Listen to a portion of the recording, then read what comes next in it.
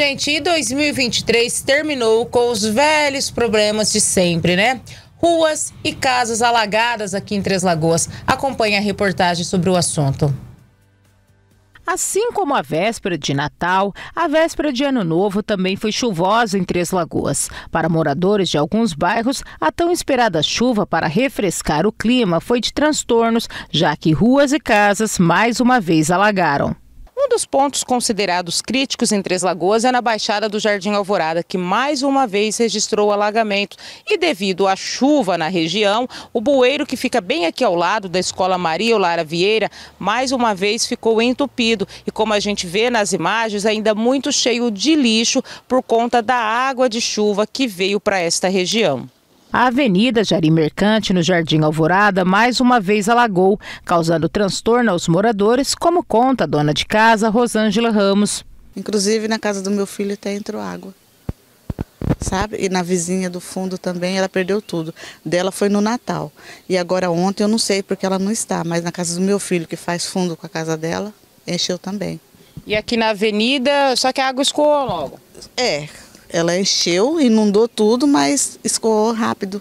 Só que tem uma cratera que fez ali também, sabe? Mas está perigoso, eu tenho medo.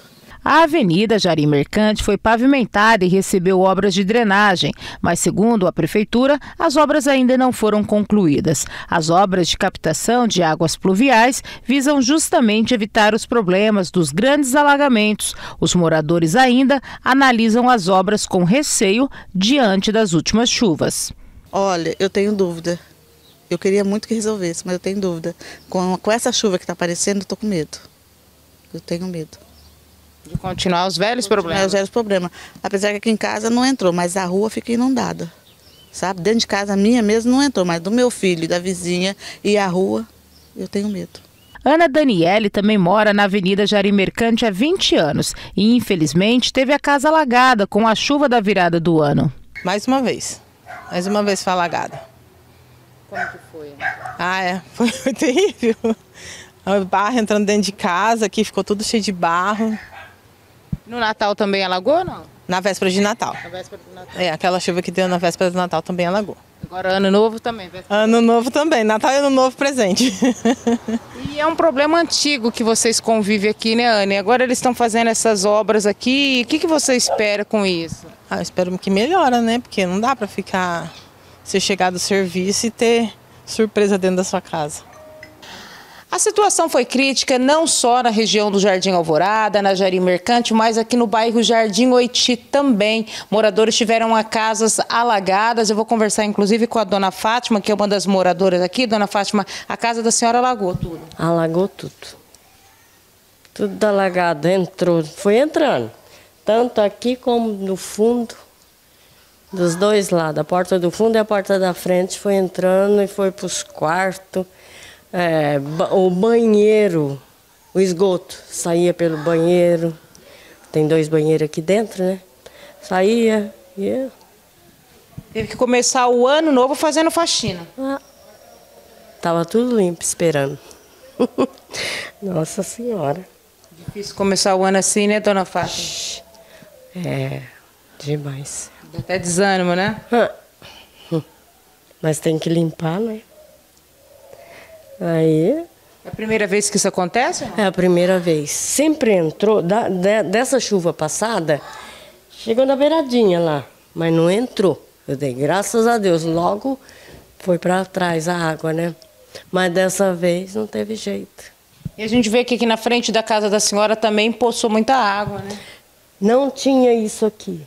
Antes, a hora que eles fizeram lá, a inventaram de passar a máquina aqui. E deixou essa bagunça aí. Não tinha essa poça d'água, não. Tinha uma pocinha ali, outra lá na, naquela ponta de lá. Mas na frente da minha casa, não. Nunca aconteceu isso, não. Agora tá lagando tudo aqui. Tá, tá lagando tudo. É que é difícil para sair de casa, né, dona Fátima? Tá. Eu saio de bicicleta. Não pego nem o carro. bicicleta é mais fácil você passar num lugar seco, né? Mas com o carro, a casa da dona Joana Jimenez também foi invadida pela água da chuva do dia 31. Foi entrando a água da rua todinha, invadiu minha casa todinha. Aí ela sai pelo banheiro, quando não, não alarga dentro da casa, ela volta pelo esgoto, volta tudo para dentro da casa. Aí fica aquela carniça dentro de casa, porque a merda é tudo que vem. Foi difícil? Aí foi. E eu e minha filha terminamos, era três horas da manhã para limpar a casa todinha e tirar o barro que estava dentro das casas. Começou o ano fazendo faxina? Foi. Atravessei o ano fazendo faxina e pelejando para a água correr para a rua de novo. Dona Neuraci mora há mais de 20 anos no Jardim Oiti e também teve a casa alagada. É, entrou água, choveu foi muito essa noite. Era para mim sair, eu nem saí. Aí entrou muito assim, entrou dentro da minha cozinha, tá acabando com as minhas coisas. No Natal também ela? Natal também. Entrou muita água. Agora na virada do ano? No ano também. E é a primeira vez que isso acontece ou outras Não, é direto, filha. Quando chove, entra direto aqui. Entra um monte. Nós tá rolado desse jeito aqui. Esse tempo que eu tava trabalhando, eu levei um tomo assim de moto assim, que eu até machuquei essa perna aqui, ó. Tá tudo inchado, ó. E aqui eles estão fazendo obras é, ali, né? tá. O asfalto não chegou aqui. Ainda não, agora não. Até agora não. Tá fazendo, mas sei lá que dia que vai chegar. O aposentado Antônio Gonzaga espera que, com as obras que estão em andamento no bairro, resolvam os problemas dos alagamentos. Aqui é direto quando chove. Agora começaram a fazer esse asfalto aqui, mas nunca se viu fazer um asfalto. Para ali e vai para o outro lado. Em vez de terminar um lado, vai para o outro. Ó, você vê um poço de água ali, que a água não tem saída da água, em vez de voltar, tá subindo para cima. Entrou água tudo dentro de casa aqui, entendeu? É direto essa vida, não é da água não. Agora só que é uma coisa que eu falo.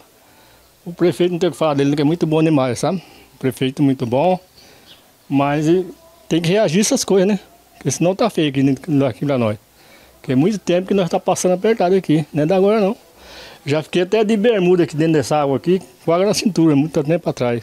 Até bota andava aqui, ó, nessa rua, entendeu? O secretário de Infraestrutura, Osmar Dias, disse que as obras de drenagem em execução nessas regiões ainda não foram concluídas. As obras visam resolver os problemas dos grandes alagamentos em Três Lagoas. Há anos, os moradores sofrem com os problemas desses alagamentos das vias públicas. E investir em obras de captação de águas pluviais sempre foi o desafio das administrações municipais devido ao alto custo elevado para a execução dessas obras. Nos últimos anos, no entanto, na gestão do prefeito Ângelo Guerreiro foram realizados vários investimentos em drenagem e pavimentação asfáltica. Só na região do bairro Chácara Imperial, a prefeitura investe mais de 33 milhões de reais na execução das macro-drenagens. Na região do Jardim Alvorada, na Avenida Jari Mercante, mais 30 milhões de reais foram investidos. O projeto foi dividido em etapas, sendo construído três piscinões em pontos estratégicos estratégicos da avenida para amenizar o problema de alagamento, além da pavimentação e urbanização da avenida. As obras para resolver esses alagamentos ainda não foram finalizadas.